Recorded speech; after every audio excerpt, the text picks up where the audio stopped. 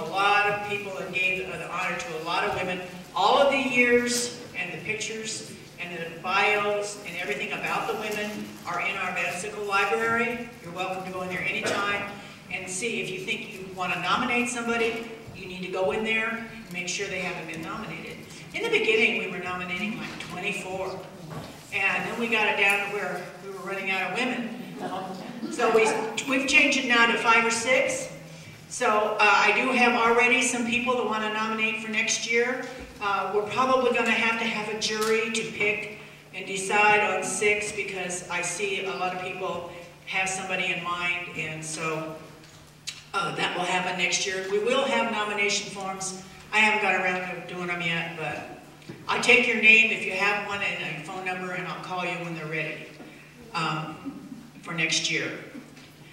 Um, this year, I, since it's 150th sesquicentennial, um, I did change it a little bit when I read that it was the 100th anniversary of women's suffrage. And I thought, well, that would be something good for us to do as a change. So that's why we're doing this and honoring, um, honoring the women that helped us get the vote.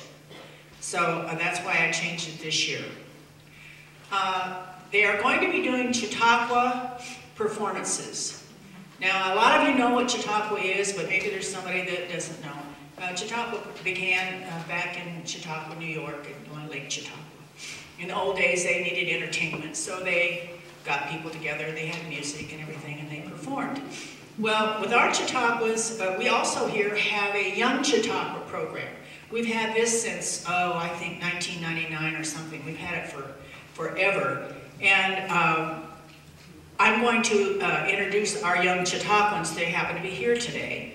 So uh, if Emily and Sandia and August would stand up, they're right there.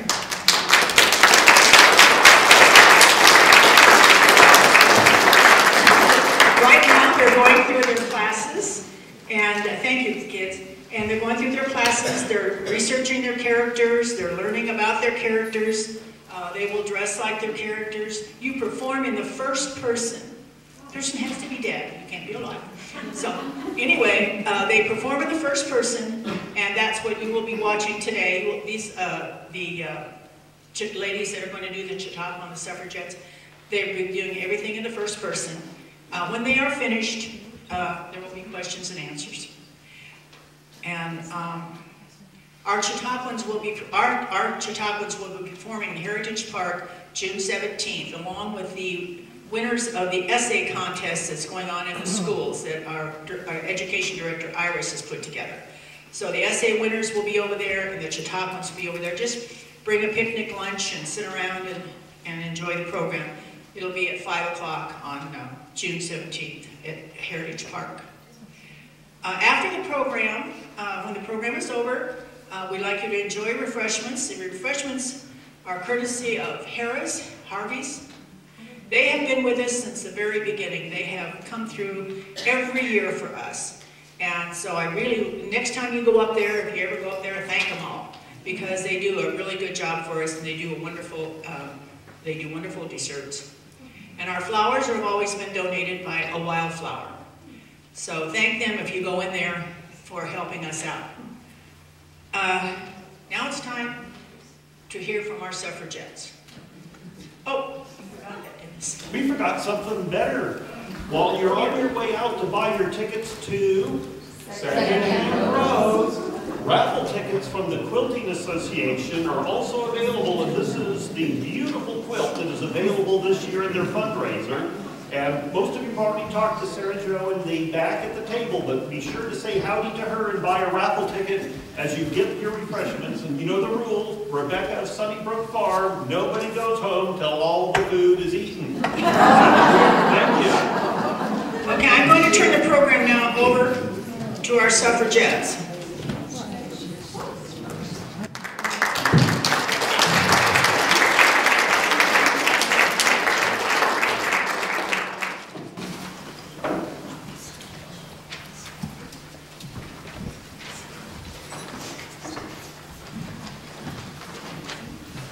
Can you hear me? Good afternoon. I'm Elizabeth Cook, and I should thank you for being here. But quite frankly, I am a very private person, and I do not really like talking about myself. I have given countless speeches in uh, Carson Valley, Carson City, Virginia City, Reno, on women's rights and the evils of alcohol. But speaking about myself, this is a first for me. It makes me extremely uncomfortable, so I hope you bear with me. I brought some notes because my mind may go. At my age, things happen. I practiced medicine here in Carson Valley for 40 years. I still continue to do a little dabbling um, in the medical profession with nearby neighbors and, and family. Um, I traveled by horse and buggy uh, to see my patients. Um, it wasn't an easy uh, way to travel in the good old days. and Things are much better now with the automobile. Um, but when it was in the good old days, it was a bit cold and drafty, and I don't care how much you put the hood on the buggy up, the rain still came in, and so did the snow, so it wasn't easy being a doctor in the uh, several years ago. Um, I just recently, uh, within the last year or so, had my buggy taken from me by my niece and my nephew, which made me very upset. I uh, am a very, like I told you before, independent, kind of woman in control. And my great-great niece, Marcia, had come up to the house to visit and spend the day with me, and I was taking her back home uh, for dinner. I was going to have dinner with my niece and nephew. And on the way down there, Marcia was fooling around in the buggy. And I had just finished telling her to please sit down. And she flipped out of the buggy, landed face first in the sand. The back wheel of the buggy ran over her. She wasn't hurt. She was more scared than anything else. She had a dirty little face and a few bruises, but that's how I got my buggy taken away. And so that night at dinner, it was quite quiet. I was furious. I have been driving that buggy for 40 years. I should be able to continue. But after dinner, William put me in the buggy, drove me home, dropped me at the door and left with my buggy. He parked it in his barn, and that's where it still is. But I have to admit, I do travel around my nephew, David Park, and it is a lot warmer and a lot easier going in the automobile, but I won't let them know that.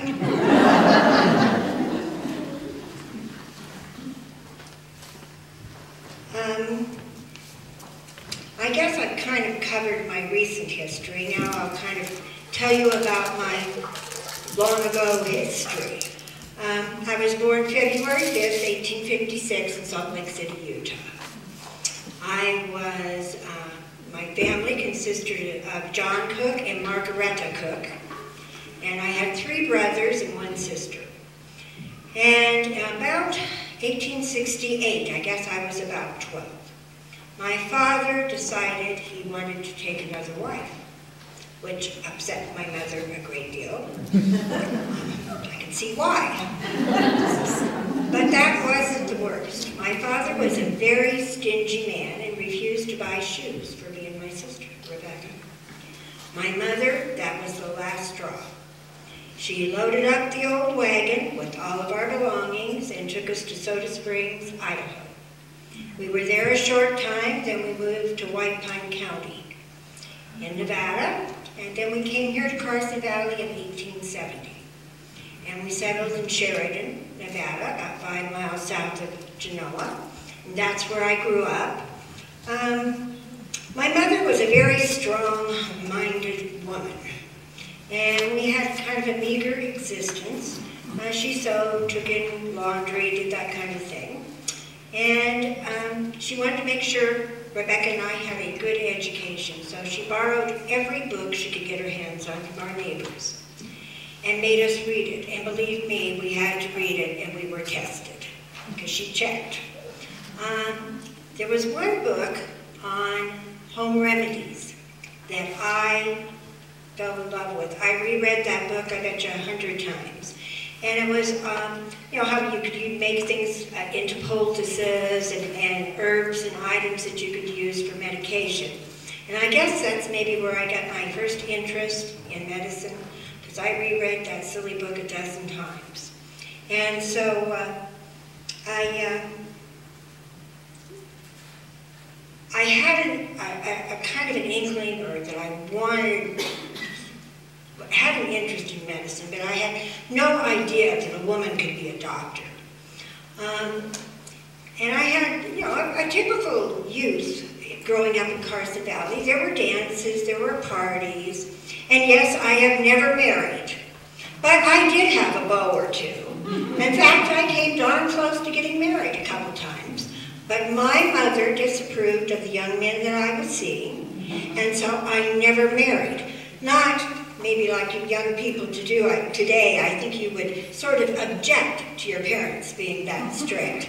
But, my mother didn't approve of the young man, then I wasn't going to see him anymore. So I uh, sort of curtailed that sort of aspect of my life, I guess.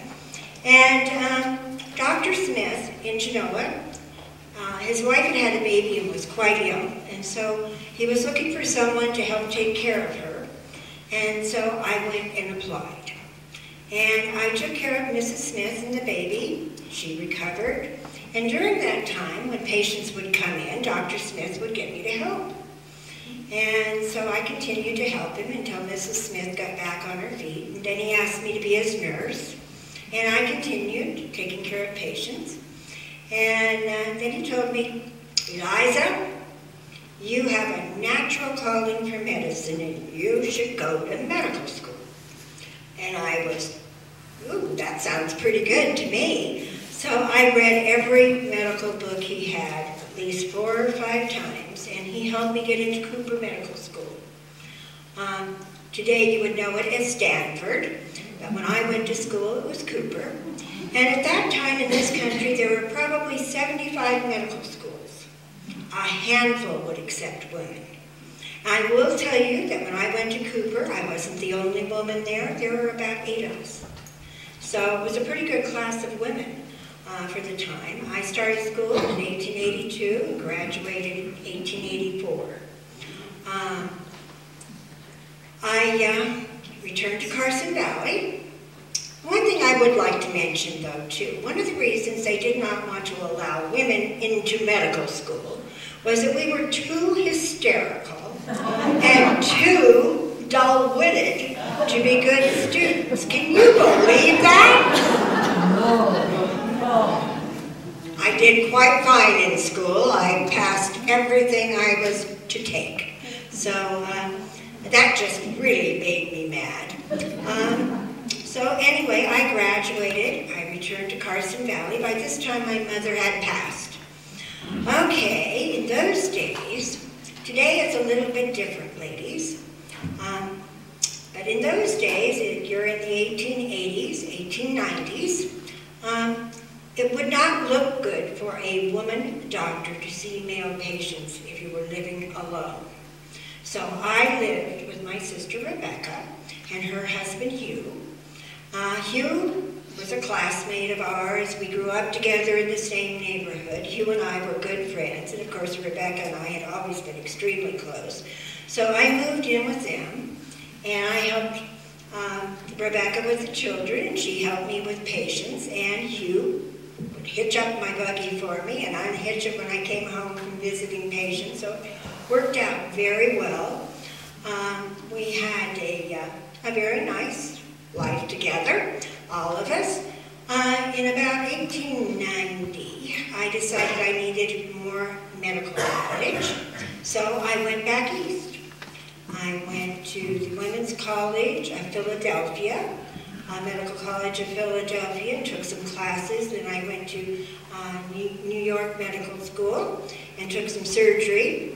And then I returned, and I was going to be a big city doctor. So I settled in Reno, opened my practice, lasted for about six months. I found out that I had become a country girl altogether, and so returned to Rebecca's house and began practicing medicine. Now, being a country doctor in the West was not an easy thing. Um, I made my own splints. I grew a lot of herbs and, and things like purple cone flower, spearmint, peppermint. I ordered medication by mail. Um, and those, um, you know, to be able to give people things, you had to have it on hand. We didn't have a regular pharmacy in the whole Carson Valley. So you had to do what you could to make ends meet. And quite frankly, I have to admit that uh, most of my calls seem to end up late afternoon or early evening. It's just the way of the draw, I guess. And so I would go and take care of the patients, and thank goodness horses always know their way home. I would fall asleep in the buggy, and when we arrived at home, the buggy would stop, and I would wake up, and thank goodness, nine times out of ten we'd arrive home. Sometimes the horse would stop someplace he wasn't supposed to, but generally didn't. Uh, and Hugh would come out and unhitch the buggy, and I would go into the house and start another day. But uh, that's kind of how the life of the country doctor was. Nobody needed a doctor at 9 o'clock in the morning. They always needed him at 9 o'clock at night. Um, I can remember one incident. It was a horrible winter that year. Snowing, helter-skelter, probably four feet deep. And there came a knock on the door, and it was a young man, and he'd been sent over from Pat Hickey's ranch. Mary Ann was in labor and was going to have a baby. And so the snow was too deep. I couldn't take the buggy. There was no way I could have gotten there. And so Hugh and a bunch of the neighbors fashioned a uh, sleigh out of I don't know what. They put me in the sleigh and hauled me across the pasture and over the top of the river because it was frozen. I arrived in the nick of time. Delivered the baby. But when I entered the house, Patrick Hickey served alcohol to all those men that had hauled me. I was furious. There is hot coffee, there is hot tea. I have been adamantly opposed to alcohol my entire life. In fact, when I was about 14, I joined a youth temperance group by mail and have followed that belief all my life because I think that has been the most ruination of families, women, and children. And so I am still adamantly opposed to alcohol. But anyway, getting back to Pat Hickey, everything went okay. The baby was delivered. I stayed for a few days because getting around in that snow was very difficult. I did not speak to him the entire time I was there. Not one word. Any message that I had to give to him either went through the children or Mary Ann. So young James did fine. I stayed for probably four days, then I returned home.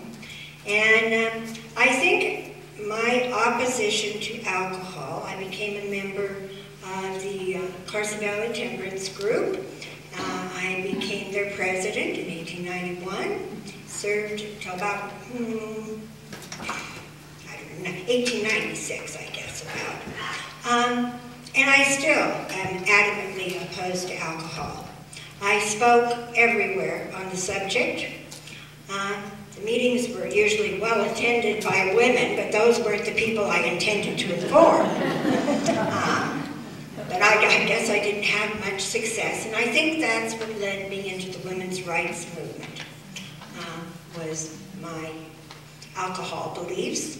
And so I joined um, the Equal Suffrage League, uh, Nevada State Suffrage League in Reno. I became one of their uh, first vice, pres- uh, vice presidents, served for many years, uh, became the president of the chapter here in Carson Valley. I continued to speak Carson City, Virginia City, Reno, uh, any place that they would have me and listen. It was a long struggle.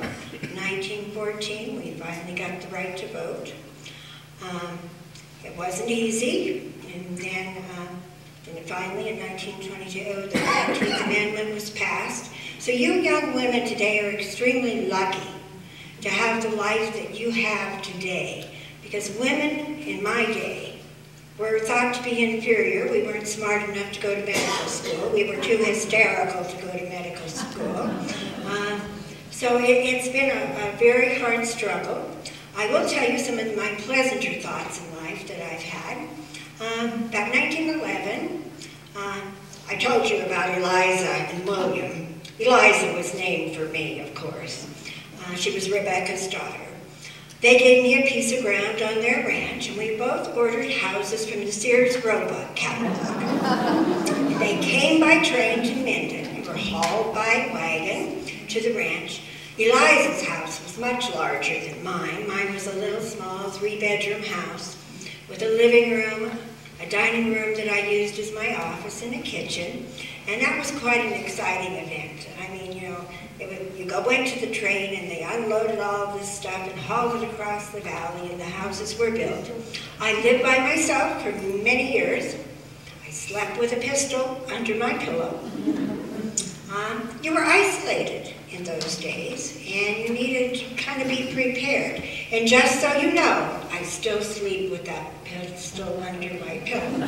So don't come knocking late at night. You might get more than you bargained for. My uh, nephew, David, now lives with me. And I think they said it was to help me with the heavy chores. I think it was more to keep me out of trouble with the buggy and things like that than to uh, help me with the heavy chores. But anyway, that's sort of my story. And um, I've had a wonderful life here in Carson Valley. I was never really discriminated as a woman doctor. Um, I knew the people. They knew me. They trusted me. I probably may have delivered many of you here. Um, broken bones, minor surgery, I did it all. Um, but today I just take care of a few nearby neighbors in my family and, and quite frankly, I'm getting older and I probably don't trust myself as much as I used to. So thank you very much. And if you have any questions for Dr. Cook, I will entertain them. I may or may not answer. Yes. I was wondering, did your mother remain in the Mormon church and did you also, or did, because of that experience, did she step away from that? She sort of, we all sort of stepped away, but I don't know that it was because of that or because of just where we were located at that time being a Mormon for a time here in Carson Valley was not a popular thing to be. So it might have been because of that. I, you know, as a, a young girl, you don't pay that much attention to those sorts of things. Any other questions? Okay, I will give you my opinion about Dr. Cook. I think her opposition to alcohol had to have a personal reason for it. I think maybe her father may have drank uh, because she definitely was adamantly opposed. Um, so I think there is some, some reason that someone would be that opposed. I think her experiences in life with the father, living with her mother, actually promoted her to be a more independent, free-thinking woman, plus her mother encouraged it. Not many girls in her time era felt that way about things. I think another one of her contemporaries that was one of the girls that actually worked very hard for the Equal Rights Amendment in, in this area was Clara Hawkins. They were born in the same year. Uh, Clara, most women were more refined in those days. Clara was very outspoken, like myself. And so I think she made acquaintances and friends of people that had like thinking. Um, and so she was a very independent woman. Yes, What year did she die? Where did she Oh. And she's buried in Genoa. Or not Genoa, Mottsville, I'm sorry. Yes? Do you know what relationship, if any, she had with Dr. Mary Fulstone, who came after her? Much after, so I don't think there was much of a, uh, they might have known each other in a, you know, in a kind of a different frame, but not as medical professionals. Yes. I have two questions. Uh, First of all, uh, your, the instruments, the medical instruments of Dr. Cook are where? They are here in the Douglas County Historical Society downstairs. One of the first articles I wrote for the newspaper is also downstairs. You can take a copy of it. Her medical license, a copy of it, is downstairs. I own her house. I, I, I have her bed, I have her house, I have her diplomas, I have her medical license. She was licensed in both Nevada and California. Guy Rocha and I argue all the time about whether she was the first woman doctor.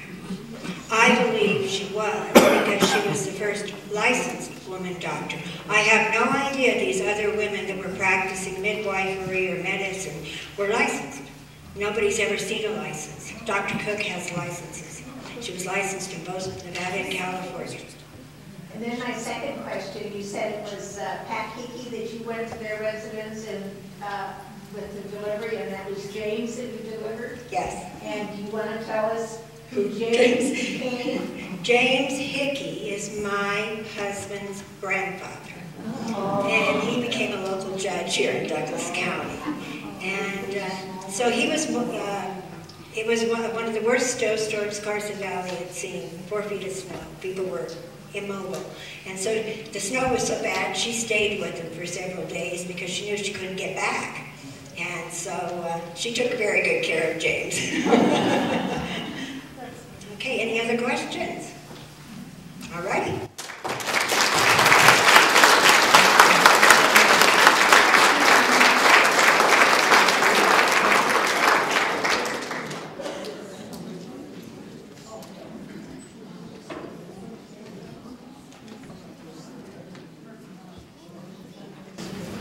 Good afternoon, fellow suffragists. I want you all to look around, and you ladies notice the gentlemen that are here with you around you. They are the people who are going to make it possible for you to vote. And today is March 22nd, 1914. We have about eight months to get this campaign going and to make it a success. My name is Bird Wilson, and I am the Vice President of the Equal Franchise Society. You all are the committee for Douglas County. And we are very organized. We have committees like yourselves in every county.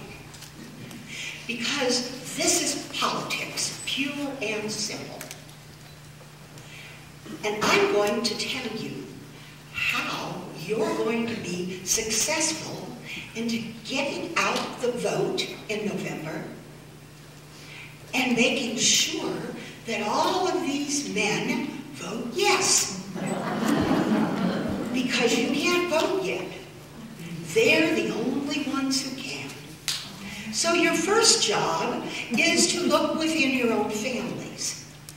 Make sure that your father, your brother, your husband, your sons, make sure that they are going to vote and that they're going to vote yes. Because that's the only way we're going to get the right to vote. There are about 22,000 registered voters in the state of Nevada in this year, 1914. And every one of them will be a possible yes vote for us. So we have to make sure that each of you do your work in this county. And that's why I'm here today, to help you organize. Now, you heard Dr. Eliza Cook. She told you how and what she thinks of alcohol. Now, she also told you that in her temperance lectures, most of the attendees were women. Guess what? They can't vote. So, right now, our biggest opposition, our main man who is against suffrage, is George Wingfield. And George Wingfield owns the newspaper in Reno. He owns a bank. He owns mines. He lends money to the liquor people. Now, if these men think that we have a hidden agenda, which is what George Wingfield says, he says that if we get the right to vote, we'll ban alcohol. he says that we are unmarried women. Aha!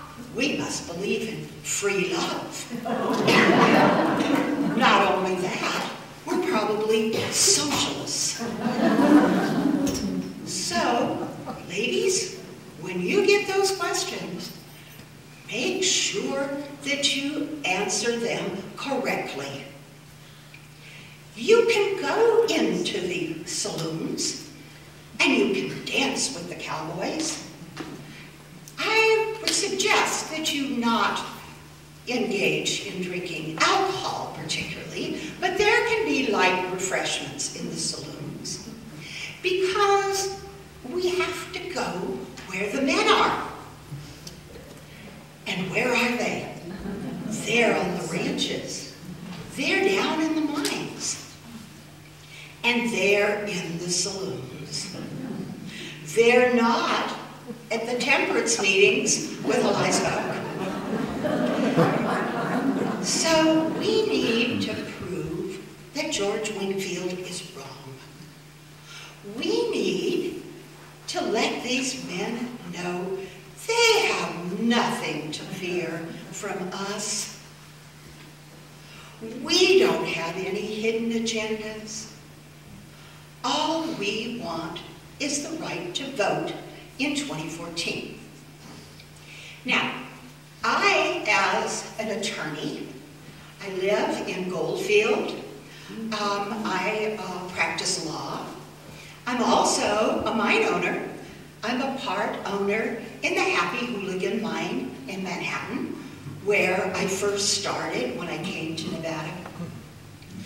I also have a ranch in Indian Springs. Um, and I get around everywhere, and I talk to people constantly. I worked very hard in the legislature in 1911 and in 1913 to persuade those legislators to pass that amendment. Now, this was politics, pure and simple. And it's one of the reasons that the men don't think we should have the right to vote. Why, we're gentle souls. We're refined. Politics is dirty business. We don't want the women folk contaminated by groveling in the dirt with all those politicians. We have to protect the little women. We have to make sure that, why, they're not dealing in politics. So, we need to convince them that even though we are, this is a real political campaign, that we can do it in a genteel fashion. Now, as far as getting those men, legislators, in 1911 and 1913, we used some gentle persuasion. We have male relatives, and in most of these communities, um, the women have husbands and fathers and brothers who, um, well, let me put it this way, Mr. Legislator. Uh, They could run against you. They might even be elected. If you won't support our amendment, we'll work very hard behind the scenes and make sure that this is your last session in the legislature. Well, it must have worked because here we are in 1914. Oh, oh, my, it's Anne Martin. How are you? Oh my God, I've been looking for you for ages, ages. Oh, I'd like you to, I'd like to introduce you to Anne Martin, who is from Reno, and she is the president of the Equal Franchise Society. And, and.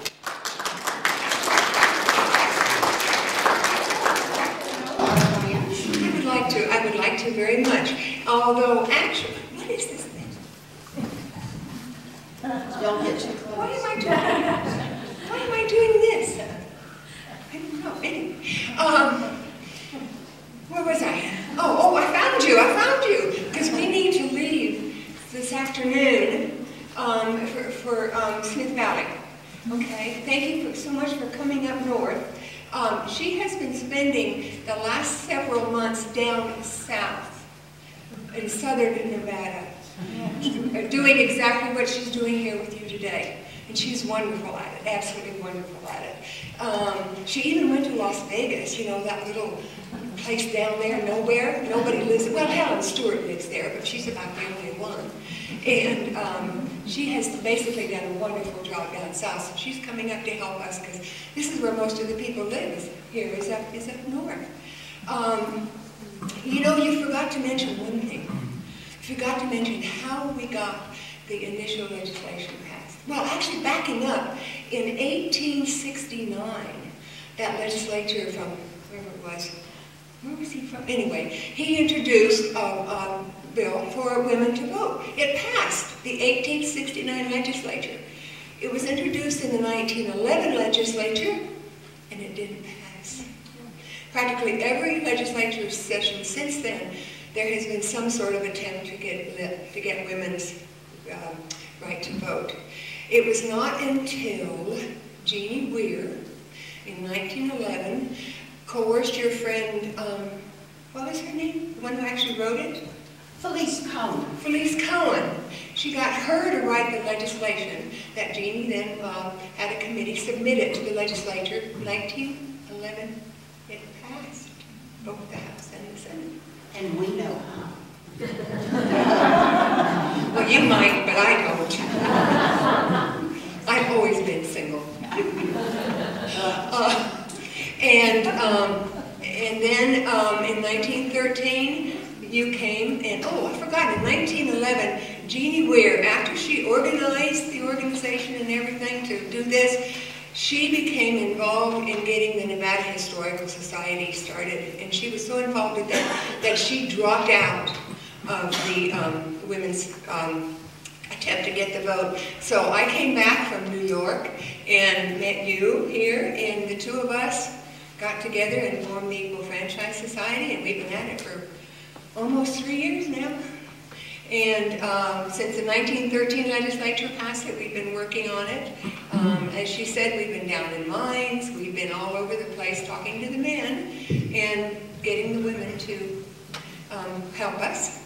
Um, we also used to have teas where the women would get together and talk about what we were going to do and how we were going to do it. And we call them pink teas. Because what man is going to come to a pink? Well, we always had our knitting or our sewing or whatever it was handy because if a man did happen to come in, maybe it was his home, we'd grab them and we'd be working away at our handicrafts and talking. And so we had we had quite a few of those pink teas all over the state, and I think they well obviously they worked because the 1913 legislature passed it. Now, next November 4th, the men are going to be voting.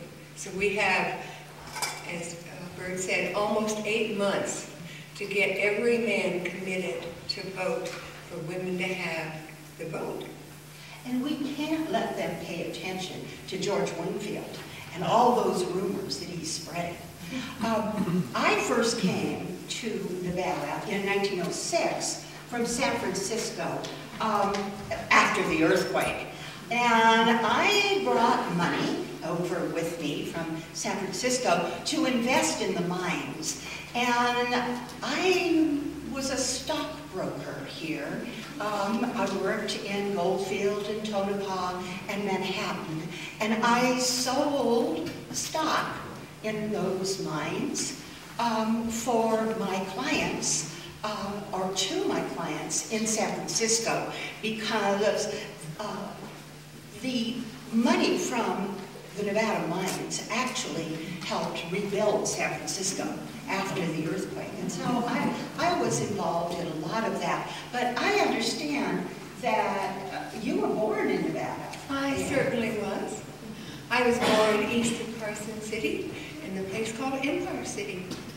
Um, I was raised there for a few years. My father was a uh, state legislator from um, 1876 to 1879.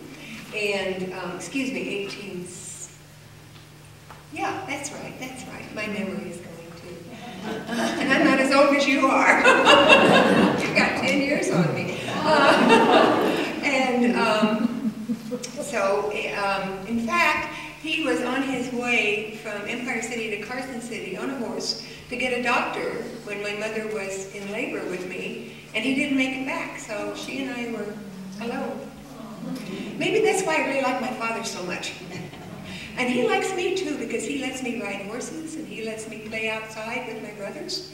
Um, my mother makes me come in the house and cook and stuff like that too, but she did. But she doesn't now. I just do it because uh, she and I are together. And um, my father died in, in 1901. And, um, oh, well, backing up, when the uh, mine industry went kibbutz up in Virginia City. Of course, the mill in Empire City wasn't no, was no longer active. Um, my father had the mercantile store, so we closed it and we moved to San Francisco, where he was a stockbroker uh, for two years. And then we came back to Nevada, but we went to Reno, where he became a, uh, oh, various, various things there. But we, my sister and I went to the girls' school there. George Wayne. You've got me got with that on my mind. The girls' school and um, up near the Nevada State University College. Pardon? Bishop Whitaker. Thank you, Bishop Whitaker School. Oh my goodness, you think your mind is going. And um, the principal there was Johnny Rankins. I can remember his name because he was so awful. He was just really terrible. And I kind of convinced my classmates that we should have a good time. And so we did. And when it was the year for us to graduate, he said, you're not graduating, you don't know enough. Well, my father said, yes, you do, and he enrolled me in the university. And um, I took a test and went in as a sophomore. And two years later, I had my bachelor's degree. And then I went to Leland Stanford University and got another master's degree and a master's degree. So, there. and while Anne was doing all of those things, I was working because I was born on a farm in Sandoval, Illinois. And as a young woman, I moved to Chicago, where there were more women lawyers than any place else in the world. And I went to court reporting school and became a court reporter. Um, I was then recommended to a gentleman called Judge William Morrow, who was a, a judge in San Francisco. He had been a, a representative uh, in the national government for the state of California. Um, and I went to work for him as his legal secretary. Um, he later uh, became a member of the Ninth Circuit Court of Appeals in, uh, for the federal government in California. He recommended and um, helped me to go to Hastings to law school, which I did, and I um, graduated in 1903. So I kind of short-circuited my education and went directly to you know, my, uh, my profession. Well, in 1903, I was in Europe. um, I actually came back to, um, after Stanford, I came back to um, Reno and started the history department at the university and taught there for two years. And, and um, um, in 1899, I took a two-year leave of absence, and a friend of mine, I wouldn't call her a friend, an acquaintance of mine from Stanford, uh, Jeannie Wier, came to take my place. And I went to art school, I went to Chase and several other colleges, and then I came back after two years, and she wouldn't leave. Well, that was okay. I just didn't teach art than history. But there weren't very many students who wanted to learn art in those days. So um, I, when, when my father's estate was distributed and I had some money, I just decided, okay, I'm going to travel, which I did, and I left. And I went all over, and the way I got involved in the women's suffrage unit area was in London in 1909 when I was arrested in front of the House of Parliament for demonstrating for women's right to vote. and a classmate of mine from um, Stanford had married a man named Herbert Hoover. and he came to bail me out. but we had already we had already been bailed out by our by you know by um, um, an Englishman, but we were we I did have that honor of possibly being bailed out by Herbert And um, so when I came back to um, the United States, I was working back east on the women's uh, suffrage movement there. And um, then when I heard that Jeannie Wier was, had, was introducing the legislation here, I got very interested. And when I heard she was leaving, I came back right away. I mean, I had been traveling around for enough, and it was time to come back. okay. All right. Okay, great. So we have almost eight months. Are you going to help us? Yes. All right.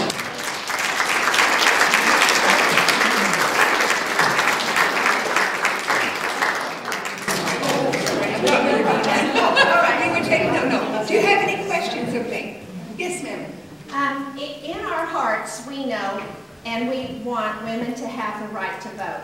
But when we're going out to talk to these men, the ranchers and the miners and the other people, what words do we use to tell them why it's important that women should vote? Well, you're going to tell them that in the West, women are much more equal to men. We work on those ranches, we work in those mines, we take in washing. We are equal to men in the West and in Western states, and that's why most Western states have already given women the right to vote. Yeah, we're the only one that hasn't. Yeah, and we, uh, us and Montana. And we're all, we already have um, work equality. We work just as hard as they do. The other thing you can tell them is that they outnumber us two to one. So we're not really much of a threat. Even if you give us the right to vote, you're still going to be all right because there are many more of you than there are of us. And Western men are fair-minded. So when you approach them with the idea that it's only fair that I have some say about our business, about our ranch, about our mine, about our children, I don't have any say about that right now. And that's why I, as Bird Wilson, wrote a pamphlet that was given, there were 22,000 of them made. uh, we distributed 20,000. Yes, to give to every man in the state of Nevada, and the women too, to tell them Women's Rights Under the Law for the state of Nevada. And it's a pamphlet. And it tells women what rights they have and what rights they don't have. You can tell she's an attorney, can't you? Are there any other questions? Well,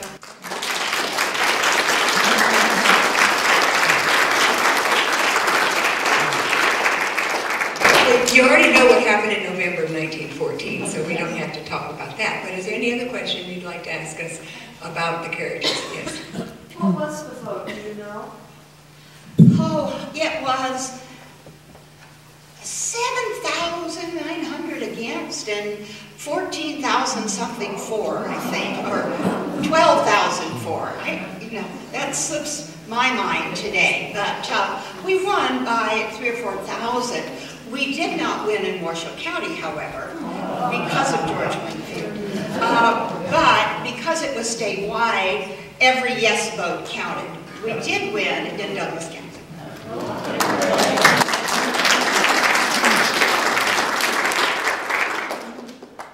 Question about, you were going to Hastings Law School? Yes, What was that, like a two-year program? yes, at the time, yes. And um, uh, there, there actually were women there uh, at that time. Most women who went to law school uh, early on had mentors.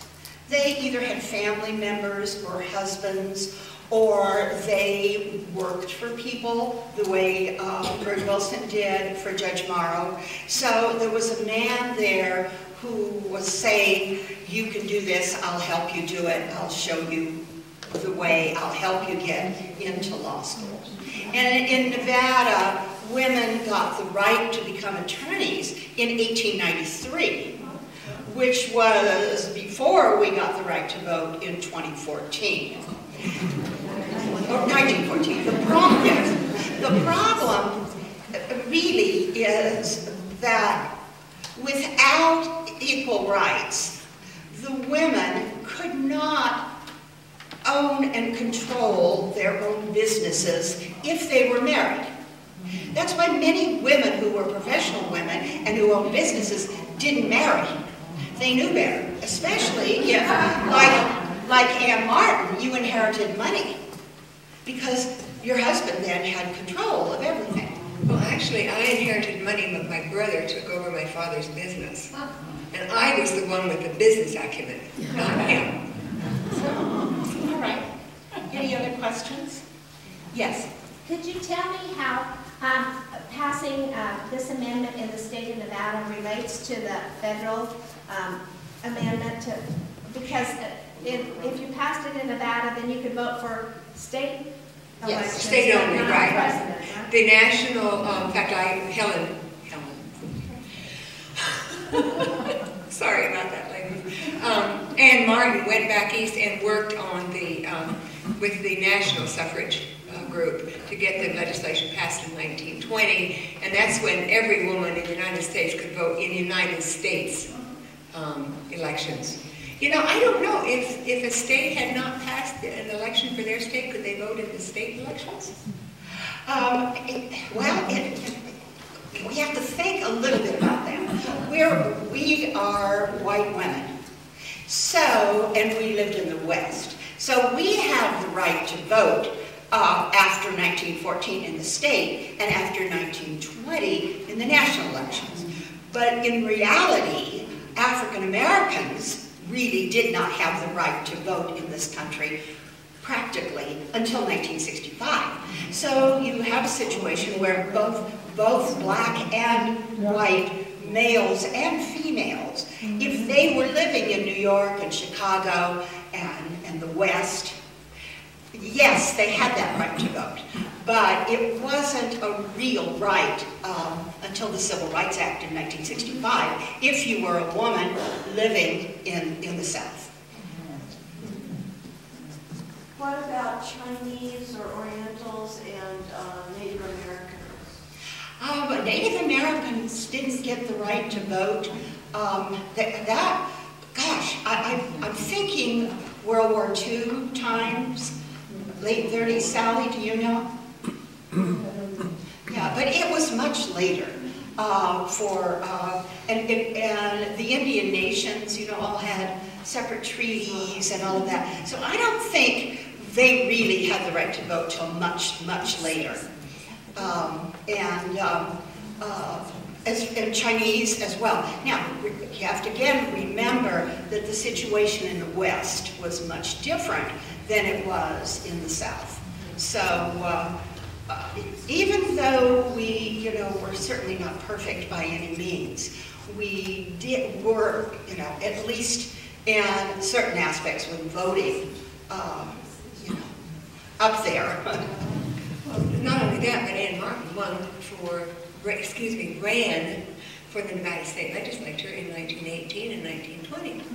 And Bird Wilson was one of the people who helped her campaign. She ran as an independent because um, she didn't, well, anyway, she ran as an independent.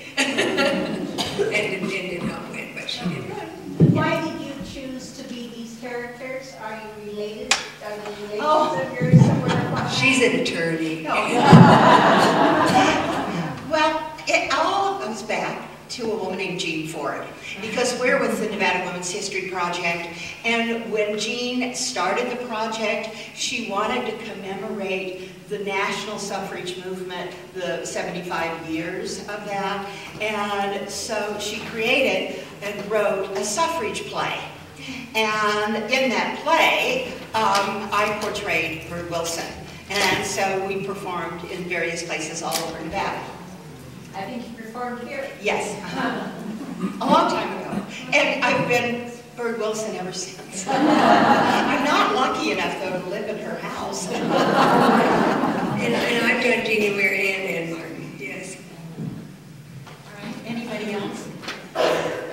Wasn't the governor's wife involved also with getting the right to vote? Of Governor Boyle, yes, yes. Uh, Various, um, the politics of, of the time and of the nation was um, complicated. Not that it's any simpler today, but I think it's always been complicated. But um, the parties lining up were not what you would think they would be when you think of the various, uh, po- the politics of today, all right?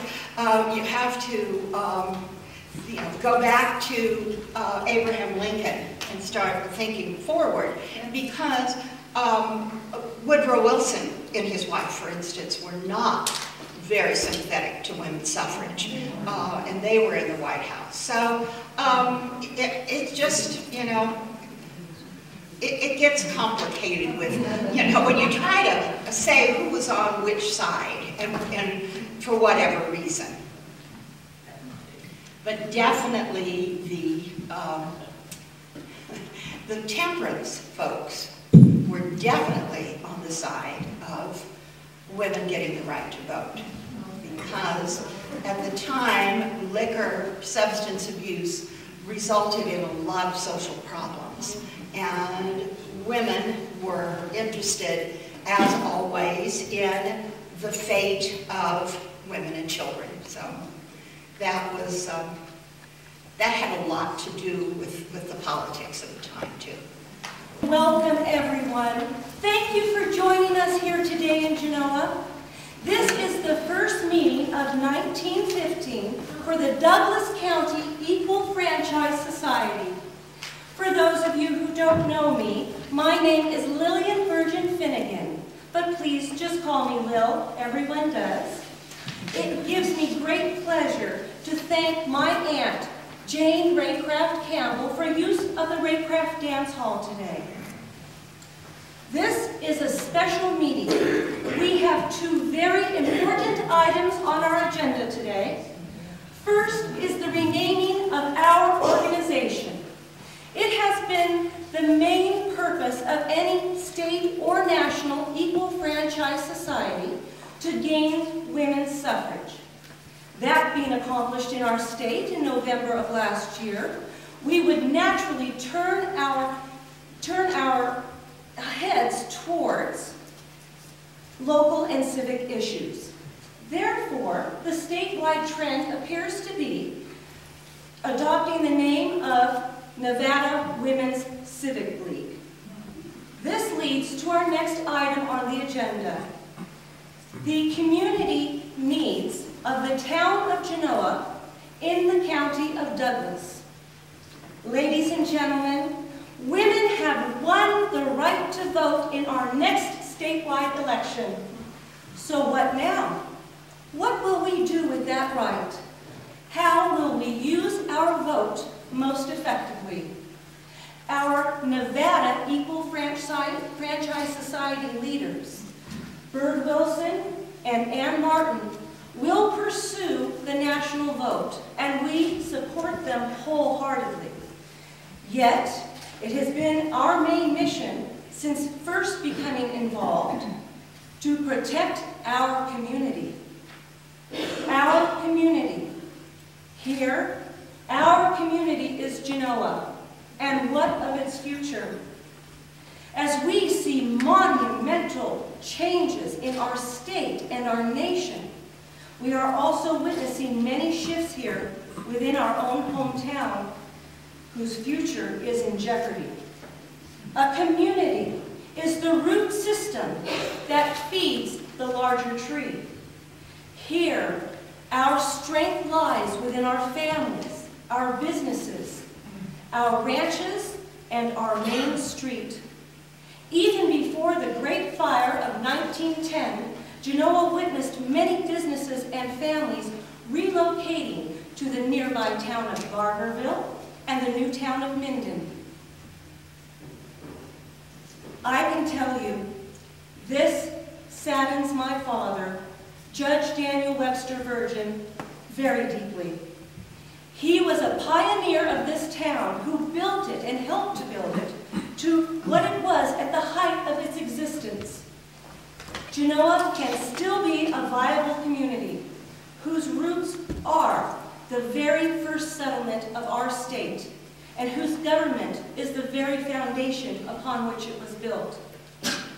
As we see nearby hamlets such as Sheridan, Mottsville, and Waterloo, they have disappeared or are doing so as I speak. We cannot allow this to happen to Genoa. As these hamlets disappear, so do their schoolhouses. Education of our children should be a priority for every citizen, even those of us who do not have children. The education, or our future, lies with the young people of today.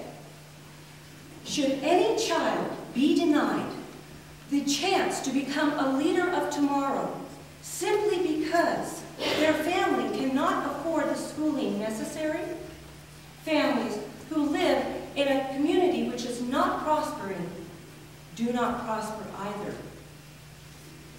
Their ability to pay taxes is affected, to provide transportation for their children to attend a school in now another community miles away, and of, of course the ability to save towards higher education.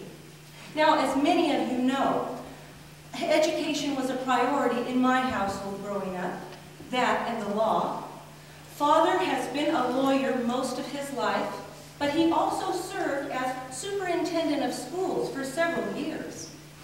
He would regularly visit each schoolhouse to become personally acquainted with the education that each student received.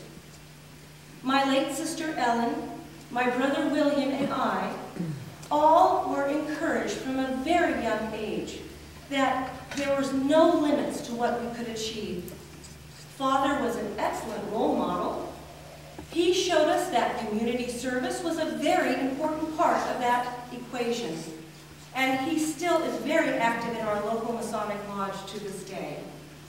Now, Ellen and I both chose the same vocation, school teacher, and continued our education at the Nevada State University, graduating from the normal school program, Ellen in 95 and myself in 97. This is where I met dear Jeannie Wier, who was, uh, excuse me, who was a professor of history, of course, and she founded the the Nevada State Historic, the Nevada Historical Society. I'm so excited that she's here, it just, I lost my mind. And she did, she in 1904 founded the Nevada Historical Society. She does not realize the influence that she has had upon my life in living by example. Now, most of you recall that Ellen taught school here in Genoa, in our little schoolhouse above Fifth Street. Our schoolhouse has become somewhat inadequate. Perhaps an opportunity will present itself when our county seat moves to the nearby town of Minden. The vacant courthouse would make an excellent building for a school. Now, Ellen taught here until her unfortunate accident, but I believe she still would be teaching today if she were alive. I taught school at Clear Creek over in Ormsby County, then later up at Glenbrook here in Douglas County. My teaching career was short-lived because I met and married Louis Finnegan in 1904. But I would have continued teaching if I could have. With our travels, it simply was not possible. This is not an uncommon tale. Most teachers are, of course, single women. I recall that when young women would come to Genoa, hired as teachers and board with local families, many times the phrase, eventually, when one would come to town, it wouldn't be too terribly long before she became engaged to a local young man, and father was back to looking for another teacher. that aside, it is our responsibility to seek out and hire good educators who will help us shape and sustain our community for future years. Now, a strong community can keep schools local, but in order for a community to be strong, it must have successful businesses. And in order for a business to become successful, it must have, there are many things that contribute to that. Good business sense and the hard work of a family is one. My uncles, John and James Raycraft, they own several mining claims here in Carson Valley, but they also operate a stage business and a, livery stable. When I speak of families, I am not excluding the women.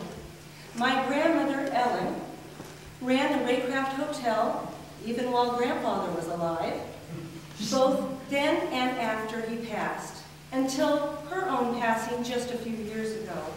Now her daughter, Jane, carries on. You all know Mrs. Harris.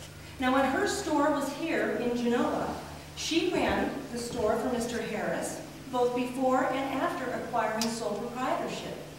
She needed to make the very difficult business decision to move the, the store over to Gardnerville where there was more traffic on the road to the mines.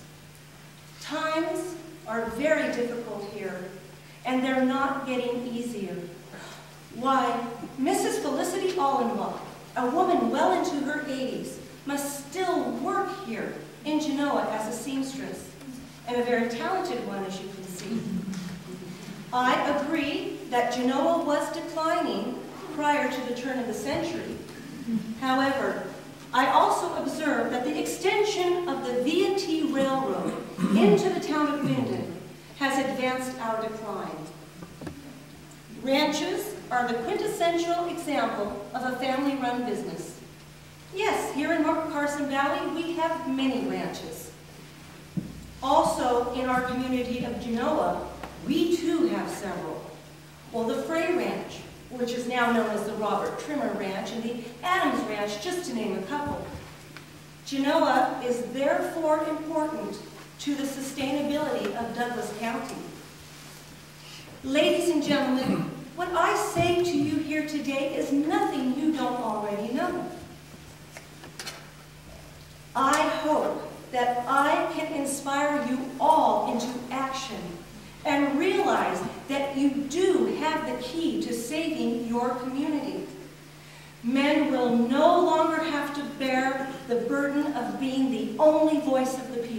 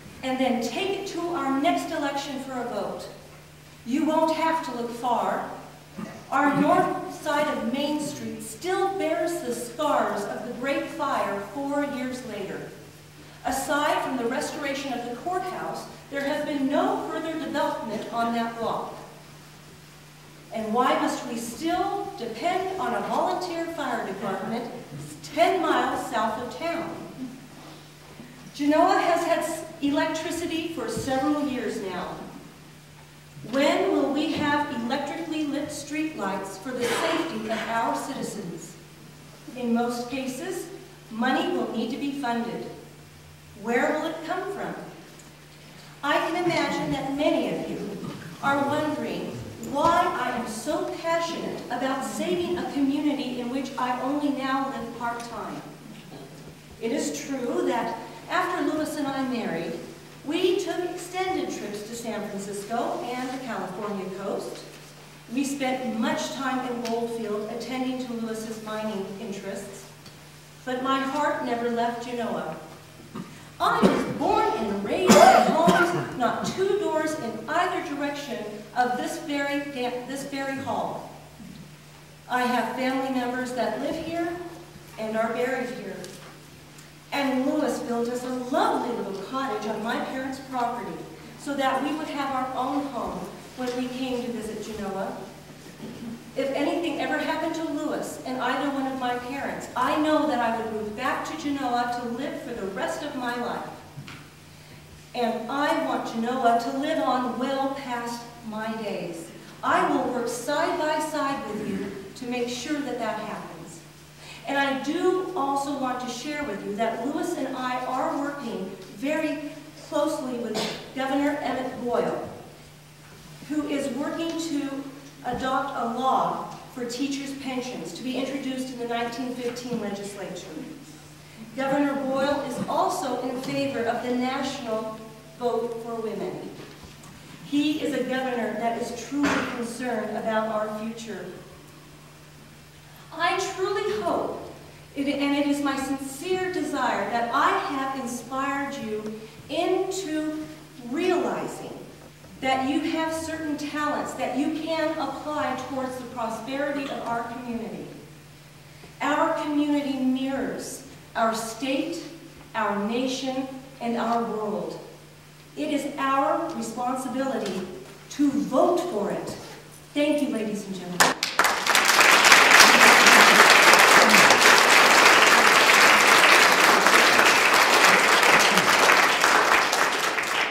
Does anyone have any questions for Lillian Virgin Finnegan? No questions for Lillian Virgin Finnegan? Here. Well, I always thought the Mormons and the Germans settled Genoa out. Is that true or not? Uh, the Mormons had a trading post in Genoa well before I was, uh, I came on the scene, but my father arrived in the early 1960s, and he, 1860s, I get so confused with this, this modern crowd before me, and on my tours, as so as you know. Uh, in, the early 1960s, father came here did I say that again? I must be a time traveler. Well, now, I now you know when Father got here. But he, uh, he opened up an office in the Raycraft Hotel and the little uh, depot next door to it. He actually shared a, a space for a while with, uh, with William Stewart, who became a senator. So he was a pioneer of this town. Does that help to answer? Well, she didn't tell me if he was a Mormon. Uh, no, he was not a Mormon, as far as our family knew. And uh, the Germans, yes, Germans and Danish and Dutch, they were uh, a great part of settling the valley and the ranches. Are there any other questions for Lynn? Uh, yes? Did you have any children? I did not have any children. I was so busy helping Lewis with his affairs that, you know, I didn't have any children. But the years that I was a school teacher, I fondly remember working with the children. And yet, yes. Did you finally live in your house in Genoa? Yes, I did. Mother passed away in 1918, and uh, father was alone. And after Lewis passed away uh, in uh, the early 20s, I went back to, to father's house to help take care of him. He was still working actively as a lawyer. I can tell you that there would be horses and carriages lined up all day in front of our gate, people coming to visit father and, and asking his advice. He passed away in 1928, and I lived on the house, in the house until my passing. Are there any other questions? Yes? You spoke about the need, the need for streetlights. Yes. So did that then lead you or others to uh, start the candy dance? Well, I was very involved in many of the community organizations, and I worked very closely with Ione Hawkins and, and Dr. Cook and several other ladies. And because of my role in these community, in these community groups, several women came to me one day and says, we do have a need and we must do something about it, and it's not going to happen unless we raise funds, because that's how it happens in Genoa. So I recall that I had been on a cruise with my husband Lewis, and they had passed out handmade candy, homemade candy, excuse me. You know, that was a delicacy at that time. And Aunt Jane had the uh, hotel across the street and the dance hall. And we kind of put two and two together and thought if we, all the women in town made the homemade candy, we had a midnight supper, oh, with linens and silver and crystal, and then went over to the dance hall to hold the dance, that that would be a wonderful fundraiser. And we raised enough money for three streetlights that year.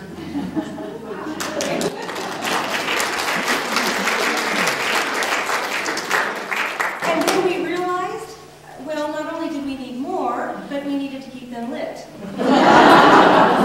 the next year we had a, a similar fundraiser, and the next year, and the next year, and the next year. And I believe it has continued on well past my own passing. that was the candy dance. So what Yes. year, what year was its inception again? Uh, 1919 is when we finally got around to saying if nobody else is going to do it, we'll do it for ourselves. Are there any other questions? Yes? Is your house still there? Oh, the house is still there. As a matter of fact, I have it on good authority from the amazing Natty Sandy that it is on the National Historic Register. That is aside from the town of Genoa being on the National Historic Register. It has its own status. So yes, and it's painted bright pink as it was when, when I it. Are there any other questions? Does anyone have any questions for Kim Lopez? Are there any questions? Well, I will tell you, yes. How much fun have you had, Kim, doing this part? I've had a lot of fun doing it, but let me tell you, I am blaming Grace Bauer to the end of the earth. Grace, you come here. I'm, I'm on the board of trustees, as some of you may or may not know, and I'm sitting next to her at a board meeting, and she does not talk much about what's going to happen, except that, well, we're going to have a little bit different program um, for women in history. Kim, would you play Lillian Virgin? Oh, sure, I will play Lillian She's, she started the candy dance, you know. And so I agreed, and then she looked at me, she said, oh, and the program is on women's suffrage. and I knew nothing about women's suffrage. I knew nothing except that Lillian Virgin was on some register for the Douglas County Equal Franchise Society. And that's all I knew. So I will tell you that I had to figure out why all these women would come to her. She had to be a go-to person. I had to look up what little information we had. And then I went to my friend, a.k.a. Jeannie Wier, but uh, actually her name is uh, the dear Arlene LaFerry, at the National, um, at the Nevada Historical Society, and I said, help! And she found so much primary source information, little tidbits that Lil went, you know, on, on the honeymoon with her husband, and then she was in Goldfield, and she did this, and she did that. I also looked up her horoscope for October 6th to find out what kind of woman she was. And then I put it together, this has been a very difficult subject with very little information, but it has been a blast.